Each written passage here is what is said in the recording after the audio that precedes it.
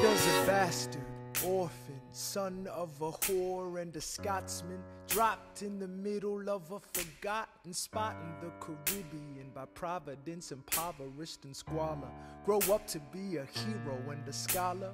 The ten dollar founding father without a father got a lot farther by working a lot harder, by being a lot smarter, by being a self starter by 14. They placed him in charge of a trading charter. And every day while slaves were being slaughtered and carted away across the waves, he struggled and kept his guard up. Inside, he was longing for something to be a part of. The brother was ready to beg, steal, borrow, or barter. Then a hurricane came and devastation reigned. on man saw his future drip, dripping down the drain. Put a pencil to his temple, connected it to his brain, and he wrote his first refrain, a testament to his pain. Well, the word got around, they said this kid is insane, man. Took up a collection just to send him to the mainland. Get your education, don't forget from whence you came, and the world's gonna know your name. What's your name? Alexander Hamilton.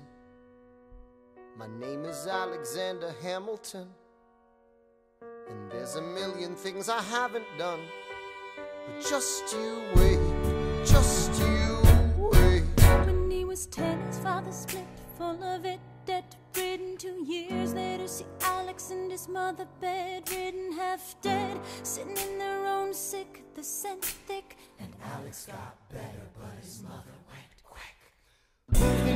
cousin, the cousin committed suicide. Left him with nothing but ruined pride. Something new inside a voice saying, Alex, you gotta fend for yourself. He started retreating and reading every treatise on the shelf. There would have been nothing left to do for someone less astute. He would have been dead and destitute without a cent or restitution. Started working, clerking for his late mother's landlord, trading sugar cane